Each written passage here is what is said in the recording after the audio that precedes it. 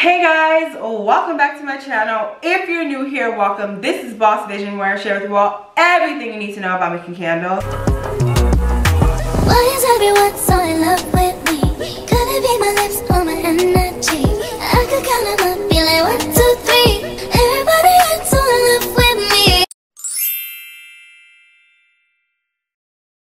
In today's video, I'll be saving your life again by giving you an honest depiction of what 16, 17 fragrances smell like. If you're like me, you didn't go there. You never went there. You just saw how expensive they were, clicked off. Or you could be someone who used to purchase from them and wanted to see if the new vendors who are reselling their fragrances are living up to the hype. So yeah, if either of those are you, you're in the right place. If you like videos like this, please make sure you give it a thumbs up. Comment down below what you want to see in the future and subscribe so you do not miss out on anything else that I post. All right, let's just jump right in. As you can see here, we have part two already uh, here. If you haven't seen part two, please go back to part two of our 16, 17 series and watch it. In that video, I gave you my honest opinion of these eight here. I didn't hold back. I tell the truth and only the truth, so help me God. So today, today, today, we're going for the final eight. There's 24 fragrances in the 1617 library that Hive and Honey gave access to. Hive and Honey understood the assignment when 1617 shut down. They took note, they were aware of the scenario. They knew a lot of people were going to be distraught, in disarray, going to call the police and call the firefighters. This is an emergency. What is this? Why we don't have our fragrances? We're gonna go broke. But don't worry, you're not gonna go broke. And I'm glad you chose these ones. I feel like they're very perfumey and the names are so unique. So I'm excited to go through this last eight here. You'll see the direct links to each of these in the description of the video as well. If you like one, you wanna try it, definitely go for it. Okay, so that was a bad idea. Idea. Y'all didn't see, but I just roly poly everything. First thing is called Persephone. Persephone, what even is a Persephone, you guys? Like, I'll put it on the screen. Persephone is a goddess. Demeter's daughter by Zeus, wife of Hades, and queen of the underworld. Okay, Persephone is like that, okay? Ah, I have to keep reminding myself to use a blotter strip. In the last two videos, you'll notice I struggle using blotter strips. We are back like chiropractic. Oh, these ones, these ones come with the little thing. You know, the little thing to prevent spilling. I like that, that's fancy. Ooh, ooh, it's like a jasmine lemon. Mmm, it's a good vibe, you guys. I like it. Oh my god, it's a jasmine lemon. I can't think of anything else. Oh, I love this. this is perfect for the season. Okay, so it's an orange blossom, cherry blossom. So that's probably the lemon that I was getting, the citrus. Key lime, that's a lemon I guess. Clean cotton, plum. Pomegranate, bamboo, beechwood. Okay, so I'm not getting jasmine here. Um, they're not saying jasmine, but that's what it smells like. Oh, maybe the maybe the citrus is that cherry blossom burst oh my god yes and beechwood beechwood is like a pineapple oh this is so freaking good. I give this a 20 out of 10 persephone is heavenly. I would do it by itself in a candle. Next we have florencia. Ooh, bougie like italy. Florencia let's see what the notes are. Not my vibe. It smells like when you go to the car wash you get that citrus spray. Mm, but then there's like some undernote of like, I don't know, ozone. Okay, so it's a Bulgarian rose. So that's what it is. An undernote of rose, white orchid, Tongan vanilla.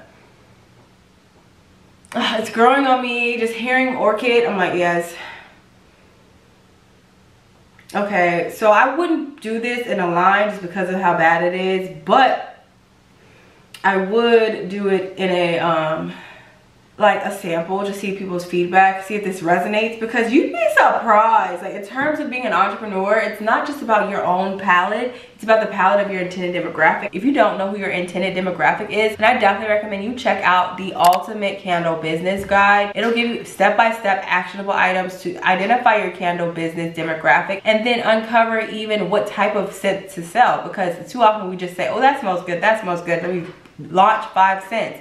Don't just launch random five scents. Put your best foot forward. Give people what they want based upon your business plan. And the link for that will be in the description of this video. But yeah this is something if you had an italian candle collection and you wanted to present that then i'd definitely say florencia Next we have Eternel, Eternel. So I don't know if it's Eternale or it's Eternal, but it's Eternal. Okay, so I'm trying to look at the notes, but I don't know if it's gonna smell good. If it smells like eternity, it's probably like white dye. It's probably old and stank. We'll see. Oh my God. No, it's not old and stink. Ooh, it just reminds me of my childhood. Like, okay, so I'm getting like, this is more so like a jasmine vanilla scent. Mmm, but it's mixed with some sort of additional floral, maybe gardenia and then a very strong perfumey cologne, like a cologne musk. I don't know, teak wood, we'll see. Mm.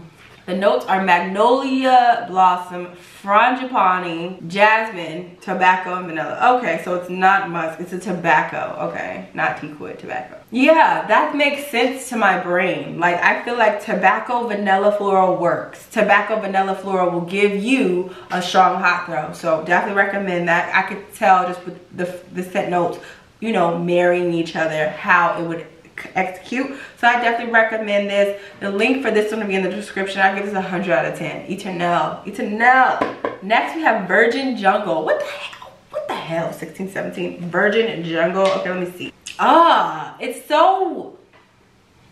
It reminds me of like Sour Patches. It's so strong. Very strong. Maybe even a cherry orange.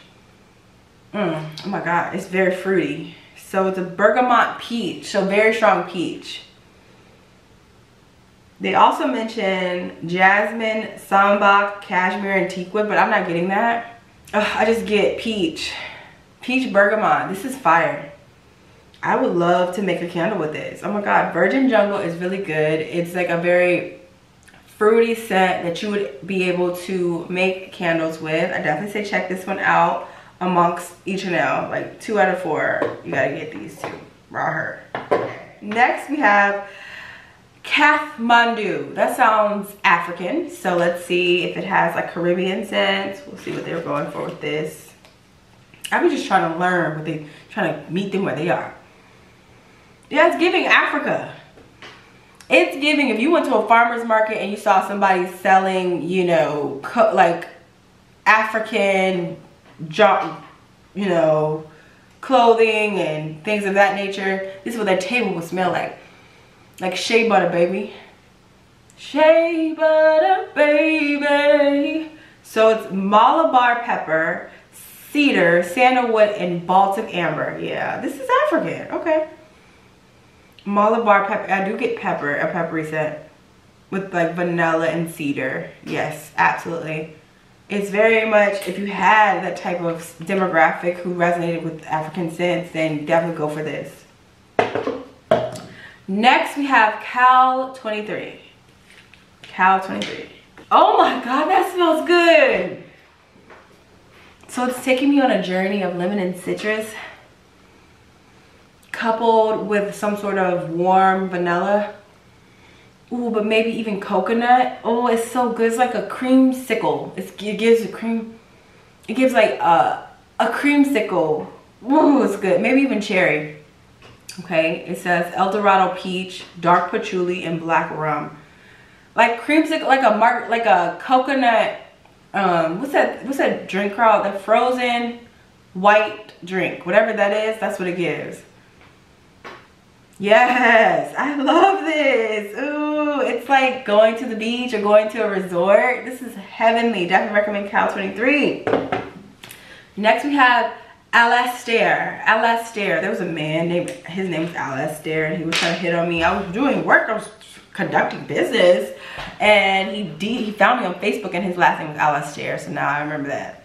But it's an African name. So I wonder if this is an African scent too. Okay, let's see. Oh, hell no. Boy, boy no.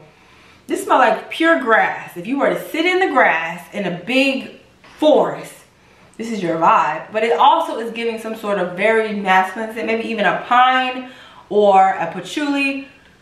Ooh, to the max. Okay, so this is cypress vetiver tobacco leaf sandalwood and ambergris. No, no, no, no, no, no, no, no. It's a one out of 10. Not my thing. Sitting in the grass. If you like sitting in the grass, get this but don't get it if you don't like it.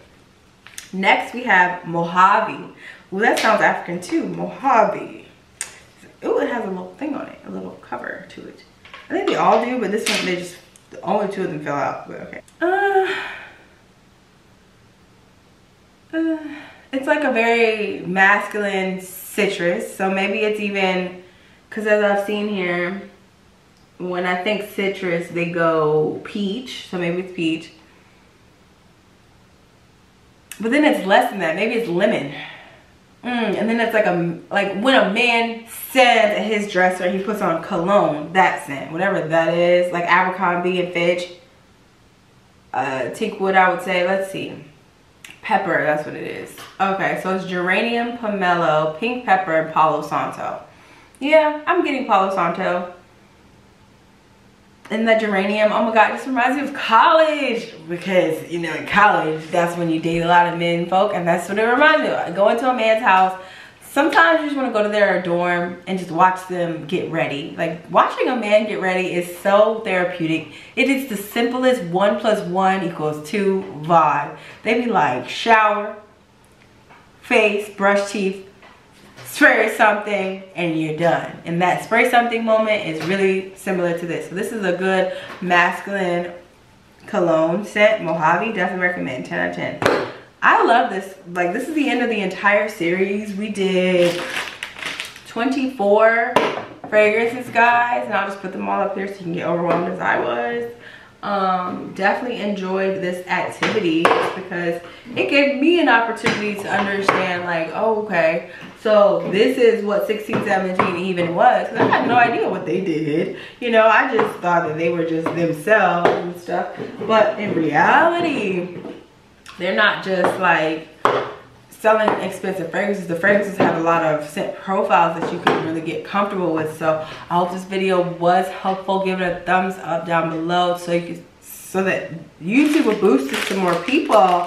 And definitely let me know what you think of each scent if you actually purchase them. But don't just stop there. You don't have to just buy these from Hive and Honey. I recommend you grab uh, several fragrance discovery kits from Hive and Honey because they have top-notch fragrances since the owner of Hive and Honey is actually a candle business owner. So she knows what scents works best for customers. So I definitely hope you guys check it out. If you use my code BOSSVISION, you will get some money off. And I hope you enjoy the rest of your day, your week, your next hour. Just living your purpose and love life. Okay, bye. Okay, the Ultimate Sales Survivor Guide will help you with everything you need to know about getting business funding in 30 days. I got it with my medium to low credit score. So yeah, it worked out perfectly.